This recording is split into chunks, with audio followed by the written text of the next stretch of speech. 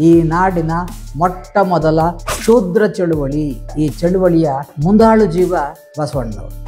ನಾನು ಮಾದಾರ ಚೆನ್ನಯ್ಯನ ದಾಸಿಯ ಮಗ, ದೋಹರ ಕಕ್ಕಯ್ಯನ ದಾಸಿಯ ಮಗಳು, ಇಬ್ಬರು ಬೆರಣಿಗೆ ಹೊಲಕ್ಕೆ ಹೋಗಿ ಸಂಗಮ ಮಾಡಿದರು. ಅವರಿಗೆ ಹುಟ್ಟಿದ ಮಗ ನಾನು ಕುಡಲ ಸಂಗಮ ದೇವ ಸಾಕ್ಷಿಯಾಗಿ ಅಂತ ತನ್ನನ್ನ ಕಟ್ಟ ಕಡೆಯ ಕಡೆಯ ಕಡೆಯ ಮನುಷ್ಯನನ್ನಾಗಿ ನಿಲ್ಲಿಸಿಕೊಂಡ ಬಸವಣ್ಣ ನಿಜವಾಗೂ ನಮ್ಮ ಸಾಂಸ್ಕೃತಿಕ ನಾಯಕನಾಗಬೇಕು.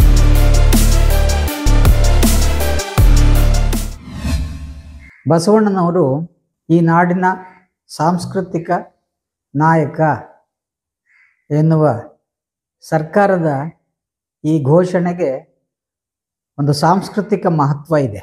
ಮೊದಲನೇದಾಗಿ, ಒಂದು ಸರ್ಕಾರ ತನ್ನ ನಡೆಯ ಆಶಯಗಳನ್ನು ಆಗಾಗ್ಗೆ ಹೀಗೆ ತಾನೂ ಗುರುತಿಸಿಕೊಳ್ಳಬೇಕು ಮತ್ತು ಸಮೂಹದ ಎದುರಿಗೆ ಅದನ್ನು ಮುಂದಿಡಬೇಕು.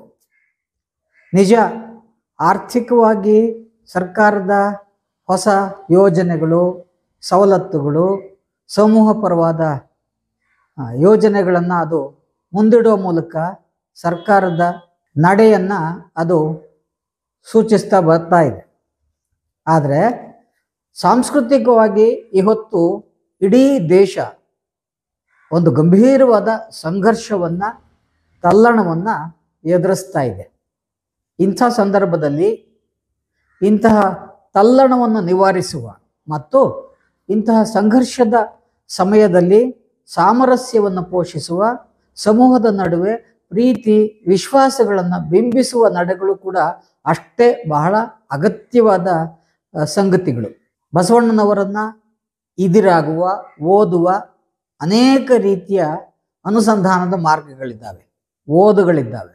ಬಸವಾದಿ ಶರಣರ ನಡೆಯನ್ನು ನಾವು ಈ ಹೊತ್ತಿಗೂ ಆ ಕಲ್ಯಾಣದ ಬಾಗಿಲನ್ನು ಕರ್ನಾಟಕದ ಒಂದು ಸಾಂಸ್ಕೃತಿಕ ಅಸ್ಮಿತೆಯ ಎಚ್ಚರದ ಆವರಣ ಅಂತಲೇ ನಾವು ಗಮನಿಸ್ಕೊಂಡು ಬಂದಿದ್ದೇವೆ.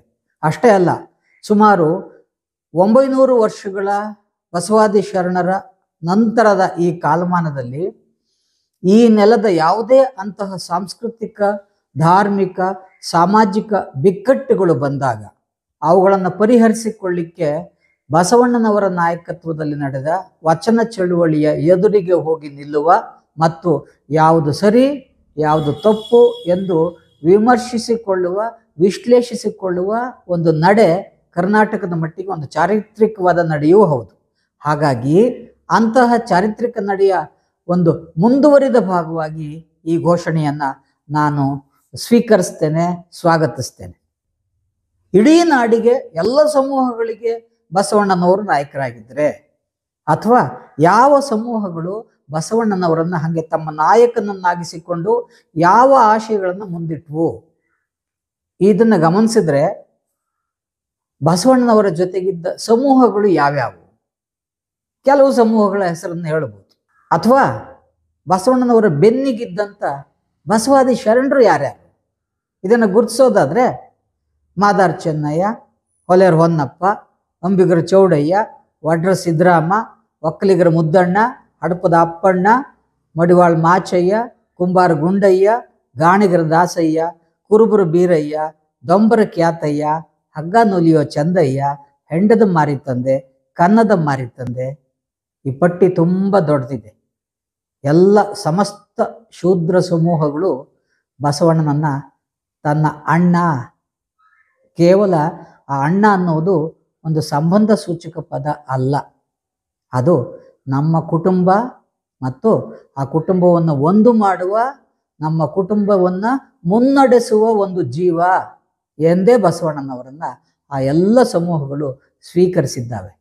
ಹಾಗಾಗಿ ಬಸವಾದಿ ಶರಣರು ಬಸವಣ್ಣನ ನಾಯಕತ್ವದಲ್ಲಿ ನಡೆಸಿದ ಈ ಚಳವಳಿ ಅದು ಈ ನಾಡಿನ ಮೊಟ್ಟ ಮೊದಲ ಶೂದ್ರ ಚಳುವಳಿ. ಹಾಗಾಗಿ ಶೂದ್ರ ಧರ್ಮವನ್ನು ಒಪ್ಪಿ ಬಾಳುತ್ತಿದ್ದ, ಬಾಳುತ್ತಿರುವ ಎಲ್ಲರ ಸಮಾನತೆಗಾಗಿ, ಅದು ಕೇವಲ ಶೂದ್ರರ ಸಮಾನತೆಗಾಗಿ ಅಲ್ಲ, ಎಲ್ಲರ ಸಮಾನತೆಗಾಗಿ ನಡೆದ ಈ ಚಳುವಳಿಯ ಬಹಳ ಮುಂದಾಳು ಜೀವ ಬಸವಣ್ಣನವರು.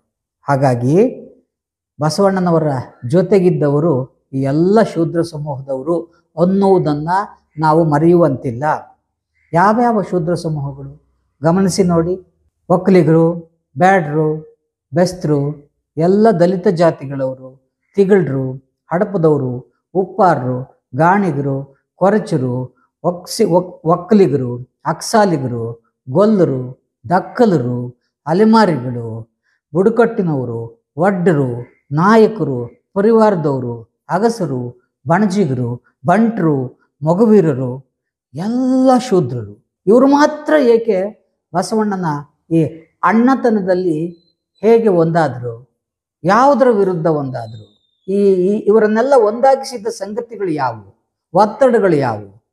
ಬಹಳ ಪ್ರಮುಖವಾಗಿ ಎಲ್ಲ ಶೂದ್ರ ಸಮೂಹಗಳು ಒಂದಲ್ಲ ಒಂದು ಆವರಣದಲ್ಲಿ, ಒಂದಲ್ಲ ಒಂದು ಹಂತದಲ್ಲಿ ಹೊರಗೆ ನಿಲ್ಲಿಸಲ್ಪಟ್ಟವರು. ಪುರೋಹಿತಶಾಹಿಯಿಂದ ಅಪಮಾನಿಸಲ್ಪಟ್ಟವರು, ಧಾರ್ಮಿಕವಾಗಿ ಅಸಮಾನತೆಯ ನೋವುಂಡವರು. ಅಷ್ಟೇ ಅಲ್ಲ, ಊರಿನಿಂದ ಕೆಲವರು ಕೇರಿಗಳಿಂದ, ಕೆಲವರು ಮನೆಗಳ ಮುಂದೆ, ಕೆಲವರು ದೇವಸ್ಥಾನಗಳ ಮುಂದೆ, ಕೆಲವರು ಮನಸ್ಸುಗಳಿಂದ ಆಚೆಗೆ ನಿಲ್ಲಿಸಲ್ಪಟ್ಟವರು. ಹೀಗೆ ಆಚೆಗೆ ನಿಲ್ಲಿಸಲ್ಪಟ್ಟ ಈ ಶೂದ್ರ ಸಮೂಹಗಳು ಒಂದಾಗಿ ಬಯಲಿಗೆ ಬಂದದ್ದು ಬಸವಾದಿ ಶರಣರ ಈ ಚಳುವಳಿಯ ಕಾಲದಲ್ಲಿ. ಹಾಗಾಗಿ ಬಸವಣ್ಣನವರ ಈ ನಾಯಕತ್ವ, ಸಾಂಸ್ಕೃತಿಕ ನಾಯಕತ್ವ ಅಂತ ಅಂದ್ರೂ ಕೂಡ ಅದು ಕೇವಲ ಸಾಂಸ್ಕೃತಿಕ ನಾಯಕತ್ವ ಅಲ್ಲ. ಬಸವಣ್ಣನವರ ಅತ್ಯಂತ ಪ್ರಮುಖ ಕಾಳಜಿ ಇದ್ದದ್ದು ಈ ನೋವುಂಡವರಿಗೆ ಸಮಾಧಾನ ನೀಡುವುದು ಮತ್ತು ಅಪಮಾನ, ಅಪಮಾನಿತರಿಗೆ ಸಮಾನತೆಯನ್ನು ಕಲ್ಪಿಸುವುದು ಅನ್ನೋದು ಬಹಳ ಮುಖ್ಯವಾದಂಥ ಸಂಗತಿ. ಯಾರ್ಯಾರನ್ನ ಈ ಈ ಈ ಹಿಂದೂ ಧರ್ಮ ಅಂತ ಕರೆಸಿಕೊಳ್ಳುತ್ತಿರುವ ಈ ಆವರಣದಲ್ಲಿ ಯಾರ್ಯಾರು ಹೊರಗೆ ನಿಲ್ಲಿಸಲ್ಪಟ್ಟವರು? ಹಿಂದೂ ಧರ್ಮದ ಬಹಳ ಪ್ರಮುಖವಾದ ಒಂದು ಲಕ್ಷಣ ಅಂದ್ರೆ ಅದು ಎಲ್ಲರನ್ನೂ ಸಮಾನವಾಗಿ ಗೌರವಿಸಿಲ್ಲ. ಅನ್ನುವುದ, ಅನ್ನುವುದು ಹಿಂದೂ ಧರ್ಮ ಅಂತ ಈ ಹೊತ್ತಿಗೆ ಕರೆಸಿಕೊಳ್ಳುತ್ತಿರುವುದ ಒಂದು ಧರ್ಮದ ಒಂದು ಲಕ್ಷಣವೂ ಹೌದು. ಹಾಗಾಗಿ ಆ ಲಕ್ಷಣ ಈ ಹೊತ್ತಿಗೂ ಕೂಡ ಮುಂದುವರೆದಿದೆ ಅನ್ನೋದು ಅಷ್ಟೇ ಮುಖ್ಯವಾದ ಸಂಗತಿ. ಯಾರ್ಯಾರನ್ನ ಹಾಗೆ ಹೊರಗೆ ನಿಲ್ಲಿಸಿದ್ರು? ಎಲ್ಲ ಸ್ಪೃಶ್ಯ ಜಾತಿಗಳನ್ನ ಕೆಳಜಾತಿಗಳ ಶೂದ್ರರನ್ನ, ಎಲ್ಲ ಜಾತಿಗಳ ಹೆಣ್ಣು ಮಕ್ಕಳನ್ನ ಮತ್ತು ಕೆಳಹಂತದ ಶ್ರಮಿಕರನ್ನ, ಕುಸುಬುದಾರರನ್ನು, ಅನಕ್ಷರಸ್ಥರನ್ನ ಎಲ್ಲ ಶೂದ್ರ ಜಾತಿಗಳವರನ್ನ ಹೊರಗಿಡಲಾಗಿತ್ತು. ಬೇರೆ ಬೇರೆ ಹಂತಗಳಲ್ಲಿ ಹೊರಗಿಡಲಾಗಿತ್ತು ಅನ್ನುವುದು ಕೂಡ ಈ ನೆಲದ ಅತ್ಯಂತ ಒಂದು ಪ್ರಮುಖವಾದ ಸಂಗತಿ. ಕಲ್ಯಾಣ ಅಂದ್ರೆ ವಚನ ಧರ್ಮವನ್ನು ಒಪ್ಪಿದವರ, ಸಮಾನತೆಯನ್ನು ಒಪ್ಪಿದವರ, ಎಲ್ಲರ ಜೊತೆಗೆ ಬಾಳಬೇಕು ಎಂದು ಬಯಸಿದವರನ್ನು ಒಳಗೆ ಕರೆದು ಗೌರವಿಸಿದ ಆವರಣ. ಹಾಗಾಗಿ ಅದಕ್ಕೆ ಒಂದು ಮಹತ್ವ ಇದೆ. ಯಾಕೆ ಆ ಮಹತ್ವ ಇದೆ ಅಂದರೆ, ಗಮನಿಸಿ, ಬೇರೆ ಅನೇಕ ದೇವಸ್ಥಾನಗಳ ಮುಂದೆ, ಅನೇಕ ಮಠಗಳ ಮುಂದೆ, ಅನೇಕ ಧಾರ್ಮಿಕ ಆವರಣಗಳ ಮುಂದೆ ನಿಂತ ಈ ಶೂದ್ರರ ಧನ ಅವರಿಗೆ ಬೇಕು. ಅವರ ಭಕ್ತಿ ಬೇಕು, ಅವರ ಹಾಡುಗಳು ಬೇಕು, ಅವರ ಸಂಗೀತ ಬೇಕು, ಅವರ ಕೀರ್ತನೆಗಳು ಬೇಕು. ಅವರು ಮಾತ್ರ ಬೇಡ, ಅವರು ಹೊರಗೆ ಇರಲಿ. ಅಂತ ಈ ಹೊರಗೆ ನಿಲ್ಲಿಸಿದ್ದು ಮತ್ತೆ ಎಲ್ಲರನ್ನೂ ಒಳಗೆ ಕರೆದದ್ದು. ಈ ನೆಲದ ಅತ್ಯಂತ ಪ್ರಮುಖವಾದ ಎರಡು ಲಕ್ಷಣಗಳು ಅಂತ ಕೂಡ ನಾವು ಗಮನಿಸಬೇಕು. ಧಾರ್ಮಿಕ ಅಸಮಾನತೆ, ಅಪಮಾನತ, ಅಪಮಾನ, ಸಾಂಸ್ಕೃತಿಕ ಅಸಮಾನತೆ, ಸಾಂಸ್ಕೃತಿಕವಾಗಿ ಒಂದು ಸಮೂಹವನ್ನ ಅಪಮಾನಿಸೋದು ಅದು ಸಾಧಾರಣ ಸಂಗತಿ ಅಲ್ಲ. ಶೂದ್ರ ಸಮೂಹದ ಈ ಜನ ಶ್ರಮಜೀವಿಗಳು. ಕರ್ನಾಟಕದ ಮಟ್ಟಿಗೆ ಇವರ ಜನಸಂಖ್ಯೆ ಒಟ್ಟು ಜನಸಂಖ್ಯೆಯ ಸುಮಾರು ಎಪ್ಪತ್ತಾರರಷ್ಟು ಇದೆ. ಈ ನೆಲದ ಜನಸಮೂಹದ ಸುಮಾರು ಮುಕ್ಕಾಲು ಪಾಲು ಜನ ಶೂದ್ರ ಸಮೂಹದವರು. ಇವರೆಲ್ಲ ಒಂದೇ ತಾಯಿ ಮಕ್ಕಳ ಹಾಗೆ ಅಣ್ತಮ್ಮಂದಿರು ಎಲ್ಲ ದುಡ್ದು ಉಣ್ಣೋ ಜನ.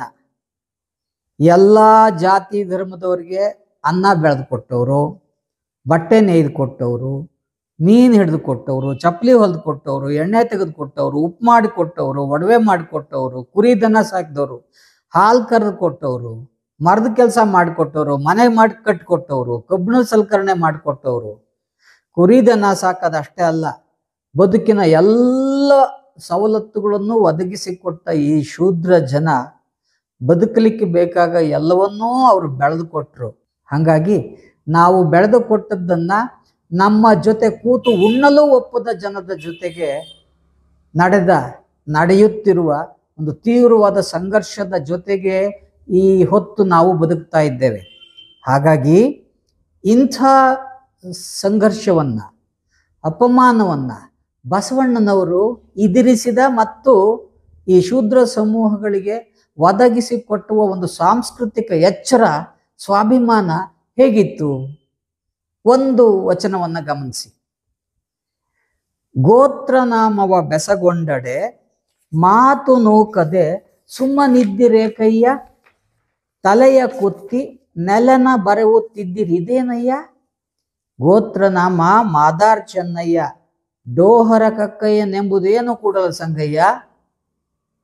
ಯಾವುದಾದ್ರೂ ದೇವಸ್ಥಾನದಲ್ಲಿ ಪೂಜೆ ಮಾಡಿಸ್ಲಿಕ್ಕೆ ಹೋದಾಗ ಯಾವ ಗೋತ್ರ ನಿಮ್ಮದು ಅಂತ ಕೇಳಿದ್ರೆ ಪಿಳಿ ಪಿಳಿ ಕಂಡುಬಿಡ್ತಾ ನಮ್ಮ ಗೋತ್ರ ಯಾವುದು? ಅಂತ ಅದಿರಲೇಬೇಕಾದ್ದೇನಿಲ್ಲ. ನಮಗೆ ಗೊತ್ತಿರೋದು ನಮ್ಮ ಅಪ್ಪ ಅಮ್ಮಗಳ ಹೆಸರು.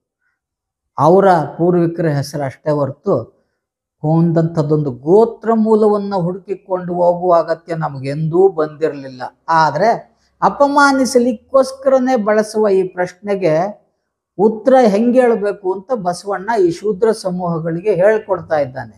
ಯಾರಾದರೂ ನೀವು ಯಾವ ಗೋತ್ರದವರು ಅಂತ ಕೇಳಿದ್ರೆ, ಮಾದಾರ್ ಚೆನ್ನೈನ ಗೋತ್ರದವರು, ಡೋಹರ ಕಕ್ಕಯ್ಯನ ಗೋತ್ರದವರು ಅಂತ ಒಂದ್ಸಾರಿ ಹೇಳಿ, ಆಮೇಲೆ ಇನ್ನು ಅವ್ರು ನಿಮ್ಮನ್ನು ಕೇಳಲ್ಲ.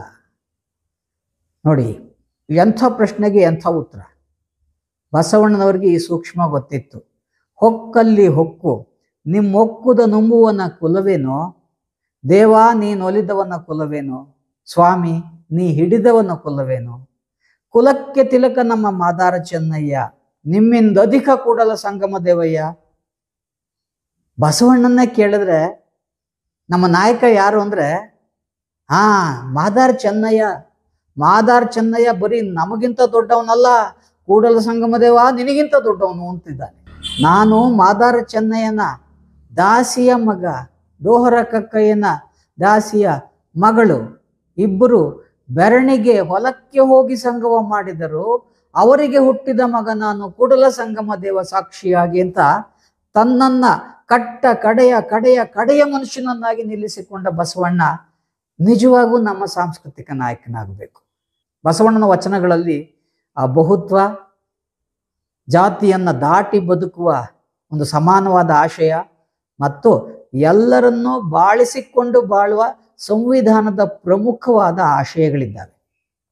ಆ ಆಶಯಗಳನ್ನು ಸರ್ಕಾರ ಸಂವಿಧಾನವನ್ನು ಒಪ್ಪಿಕೊಂಡುವುದರ ಮೂಲಕ ಮತ್ತು ಅದನ್ನು ನಾನು ಬಾಳಿ ತೋರಿಸುತ್ತೇನೆ ಮತ್ತು ಈ ಸಮೂಹ ಬಾಳಲಿ ಎನ್ನುವ ಆಶಯದ ಪ್ರತೀಕವಾಗಿ ಇಂಥ ಘೋಷಣೆ ಮಾಡಿದೆ ಅಂತ ನನಗೆ ಅನಿಸುತ್ತೆ. ನಿಜ, ಇಂಥ ಆಶಯಗಳನ್ನು ಮುಂದಿಟ್ಟ ಬಸವಾದಿ ಶರಣರನ್ನ ಇಲ್ಲಿ ಬಾಳ್ಬಿಡಕ್, ಬಾಳಕ್ ಬಿಟ್ರ ಬಾಳ್ಗೊಡಿಸಿದ್ರ. ಸ್ವಲ್ಪ ಆ ಚರಿತ್ರೆಯ ನಡೆಯನ್ನು ಗಮನಿಸಿ. ಅಂಥ ಬಸವಾದಿ ಶರಣರ ಬಾಳು ಏನಾಯ್ತು? ಅವ್ರ ಪಾಡು ಹಾಗೆ ಹಾಗೆ, ಹಂಗೆ ದಿಕ್ಕಾಪಾಲಾಗಿ ಹೋದಂಥ ಆ ಶರಣರನ್ನ ಇಲ್ಲಿ ಬಾಳಗೊಡಿಸದಿದ್ದವ್ರು ಯಾರು? ಅದನ್ನು ಮರಿಬಾರ್ದು. ಮತ್ತಷ್ಟು ವಿಶೇಷ ವಿಡಿಯೋಗಳನ್ನು ನೋಡಲು ಮತ್ತು ಹೊಸ ವಿಡಿಯೋಗಳ ಬಗ್ಗೆ ತಿಳಿಯಲು Ee Dina dot com YouTube channel subscribe ಮಾಡಿ ಮತ್ತು ಬೆಲ್ ಐಕಾನ್ ಕ್ಲಿಕ್ ಮಾಡಿ.